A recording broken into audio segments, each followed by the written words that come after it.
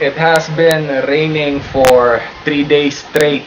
So what happened to uh, our cabbage? It got too wet, and the initial leaves started to uh, become yellow and rot. So we did not have any other choice but to uproot them before it causes any problems. But uh, even though they got rotten because of too much rain, still could uh, take the leaves that we can eat. It's a pity because it was starting already to close up into cabbages.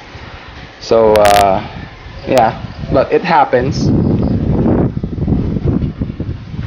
But we don't stop doing this thing because uh, uh, of these problems. Yeah, even the, the cauliflower, because of the heavy rains, it started to rot because it was too wet.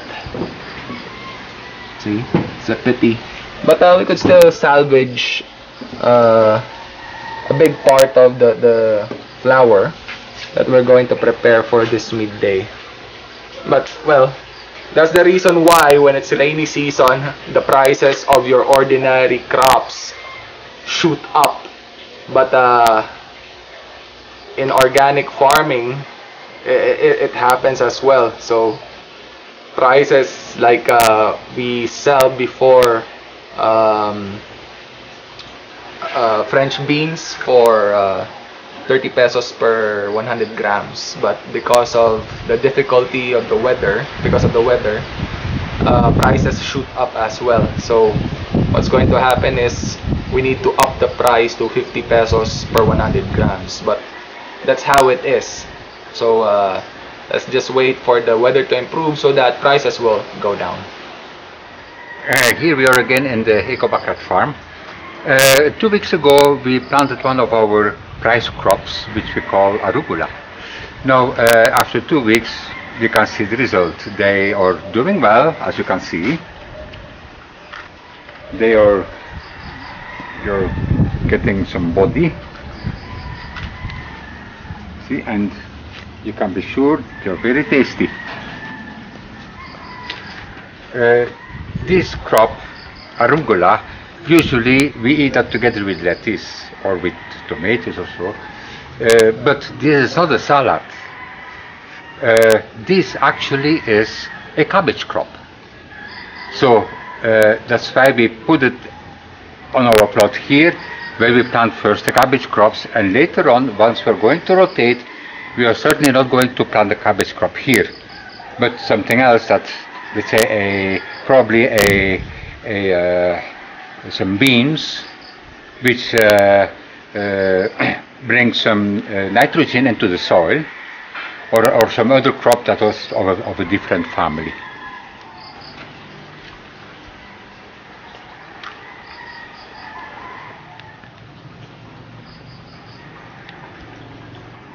I just finished planting our kale today.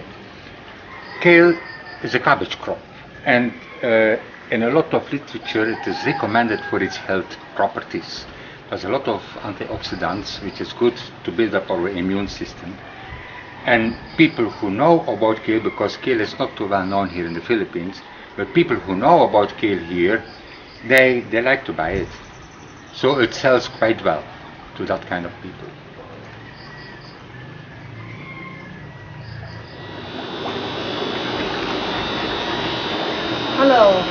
We are here at our aquaponics area harvesting our second to the last French beans. You can see still, they are still very beautiful. But by next time, it will not take long anymore. We have to uproot them because uh, to avoid uh, how do you put the sickness for our plants to infiltrate here in the aquaponics area.